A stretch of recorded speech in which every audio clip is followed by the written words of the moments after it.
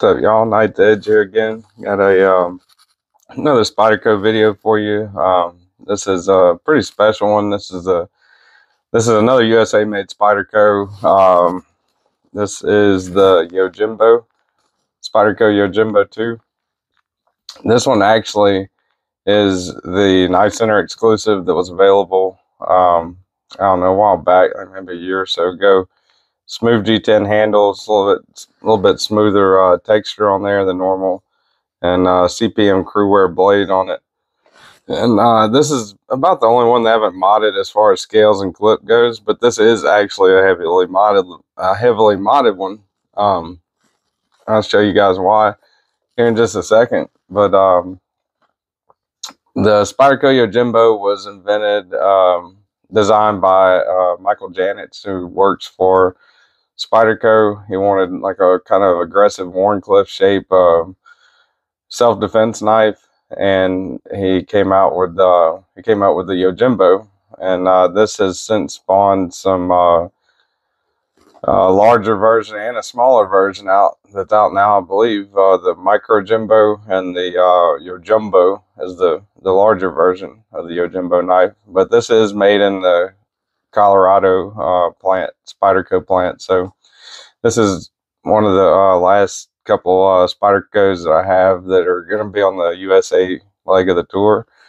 Um, but anyway, without further ado, that's uh, Spyderco Yojimbo 2 CPM Cruwear blade.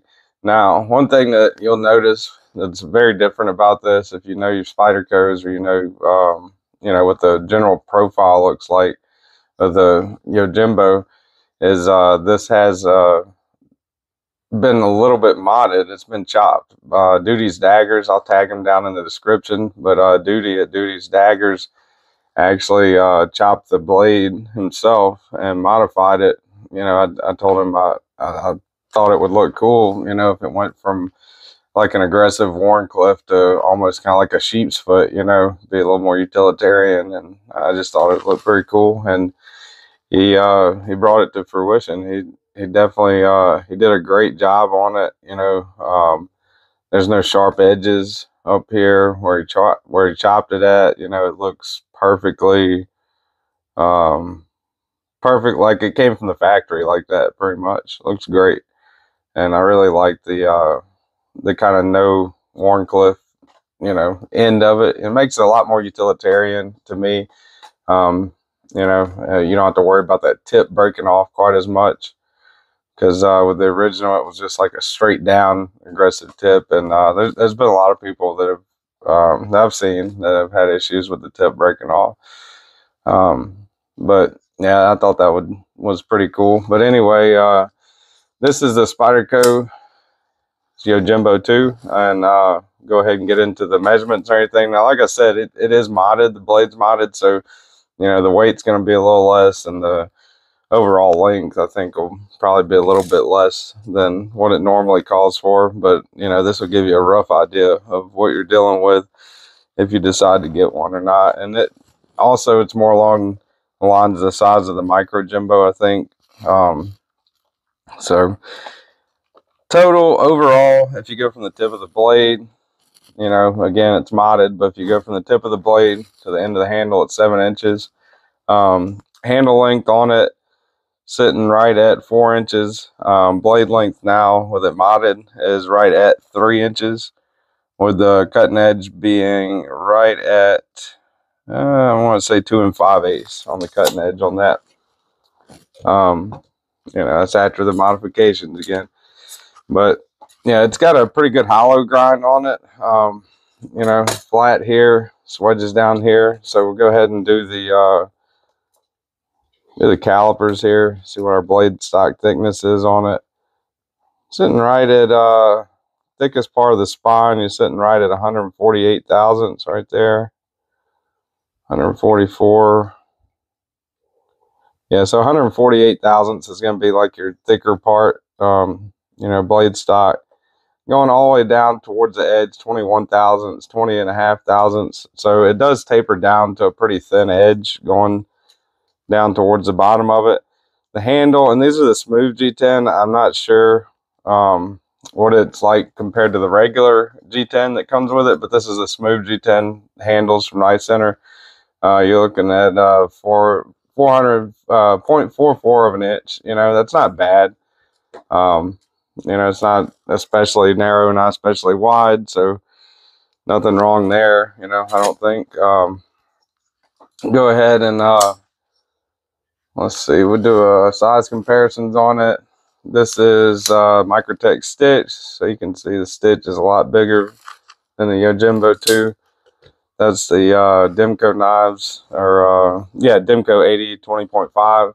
You know, right, right around the size of that. Demko uh, 20.5 is a little bit longer, you know, towards the end, but uh, yeah, and with that chop, it's uh, kind of a similar, you know, blade shape too between those two. And let's see, we'll do the uh, Doug Ritter, Ritter Hogue RSK MK1. And the uh, Hogue Deka. Hogue Deka just a hair longer than the uh, than the Yojimbo 2. Maybe actually more than a hair, maybe about a quarter of an inch longer overall. But um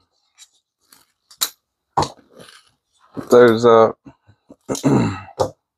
Let's see, got your Spyderco Paramilitary 2, Spyderco Para 3. All right, so looking at the Para 3 compared to the Yojimbo, right at the same uh, overall. Actually, the Para 3 is going to be a little bit longer. Not by much, but uh, just a little bit longer. And even with the modification, I'd say the Yojimbo still has uh, a little more cutting edge than the than the Para 3.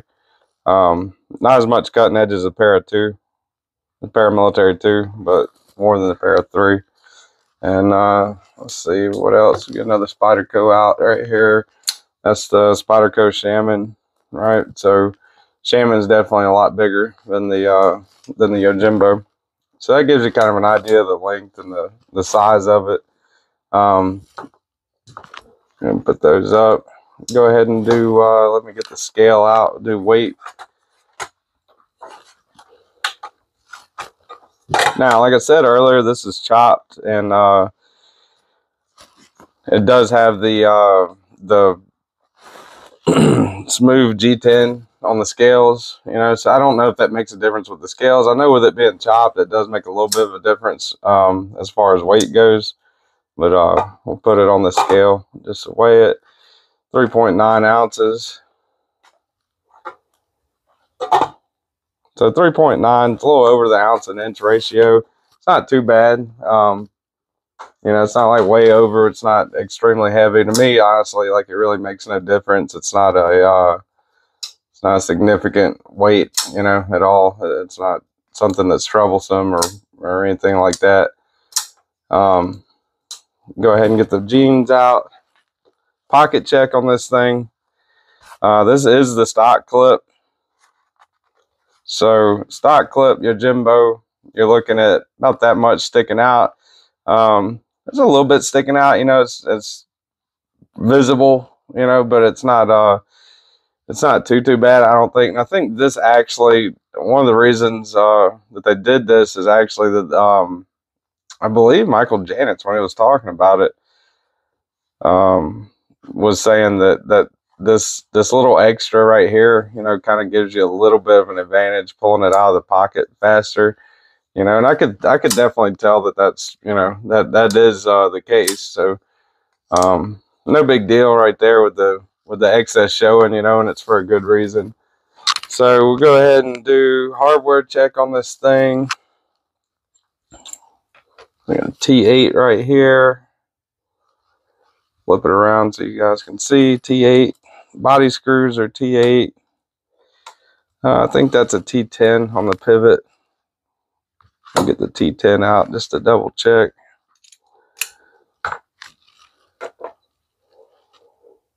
yeah pivot's gonna be a T10 yeah T10 on the pivot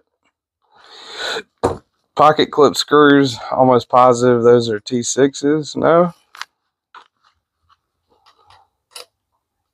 Huh. Pocket clip screws are T8. That's good. That's really good. Um, as far as the hardware and everything goes, the only bad side about it is, uh, you know, the pivot's not captive. So uh, that that could be a definite improvement, you know. But uh, other than that, T8 hardware all the way around and the T10 pivot, that's pretty good. So we'll get into, uh, I guess I'll go ahead and do my final thoughts on this knife. Now, this thing is it's extraordinarily, it's, it's a hollow grind, but like I showed you earlier, that goes down to really thin blade stock. Get a piece of paper here. It's phone book paper. Now the old New Orleans yellow pages here. All right. So this thing, even as hollow of a grind, you know, as as uh, thick a stock as you're looking at, it's not uh, it is pretty slicey, you know.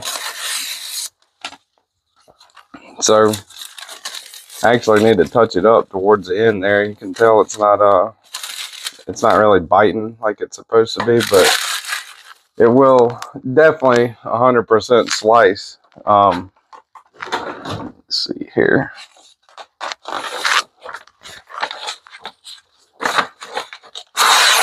Yeah, it, will it'll slice pretty good. Book paper is a little harder just because of uh, it being so thin. So you're gonna slice tissue or paper towel or phone book paper, you gotta be pretty confident in that edge. And it's not a bad edge on it at all. Just need to uh, maybe strop it a little bit, fix that.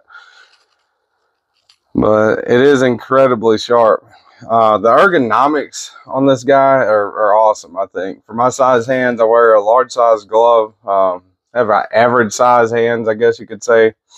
So the ergonomics on it to me are are pretty good. You know, I mean, my pinky's back here. Whenever you're choked back and choked up, definitely plenty of room. You can kind of get on this flat right here that's on the bottom when you're choked up, and the ridge right there is, you know, it's pretty comfortable too for some close up work and stuff like that. You can pinch cut it pretty good like that. You know, if you want to do draw cuts, that's a good thing. Um, this nice design for self defense. You know, so holding it in reverse grip, you know, is pretty comfortable. You know, I mean, there's no hot spots. The clip doesn't create a hot spot or anything like that. I don't think.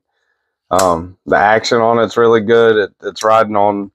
I got the pivot a little tight right now, but it's riding on uh, phosphor bronze washers, which is a good thing. Um, it keeps it from keeps uh, dirt and stuff out a little better than than uh, a ceramic ball. Uh, shoot, what am I saying? Uh, ball bearings, you know. So that's a good thing too. And I have no issue on that. The action's a little stiff, you know, be honest, like compared to like a paramilitary two or a Para three. But um, I have no issue whatsoever with it. And uh, there's no blade play, lock up solid, you know, left down, upper right. Uh, centering on it, it's pretty dead on.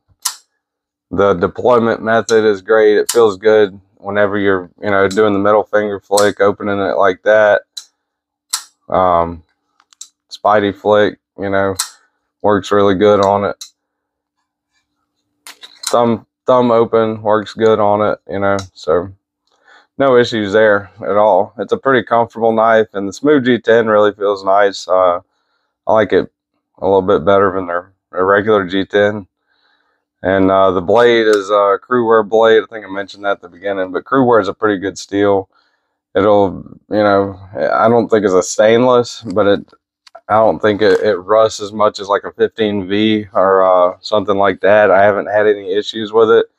Um, with my knives, I, I take some uh, knife shield, you know, most of the time as soon as I get them, you know, in this uh, KPL knife shield, that stuff works really good with uh, with coating and stuff, you know, to kind of help prevent rust a little bit, but I haven't had an issue with it. And this thing, I've cut a lot of stuff with this thing. I've cut a lot of rope and rubber and stuff like that, and it is uh, it has been good to go. You know, Cruwear is uh is definitely a, a pretty good steel in my opinion. It's a it's a super steel. So anyway, that is. Oh, also uh, pocket clip. I know we went over carry, but uh, this is reversible and ambidextrous, right? So you can mount it tip up, tip down, uh, right-handed or left-handed carry. So that's another good thing about it. I'd say overall, I would rank this knife, you know, probably about a 93. You know, it, it's not very many bad things about it. Um, you know, I did have the modification done because I didn't really care for that. Uh, after I got it in hand, I didn't really care for that super aggressive Wharncliffe tip. I, I liked the way it looked, but I didn't. Uh, I didn't want to carry it every day like that because I was kind of afraid if I dropped it or you know if I was cutting something and it pulled back or something like that, it would be a lot more uh, easy to break that tip off. So, uh, Doody's Daggers, uh, Kevin from Doody's Daggers did really good chopping this thing up for me. And uh, like I said before, I'll, I'll include him down below definitely in the in the description. So, and that's about it, guys. That is the Spyderco Yojimbo 2 um, pocket knife modded, chopped by Doody's Daggers. USA Spyderco. And I really appreciate you guys watching. And until, till then, I'll see you on the next one. Have a good one.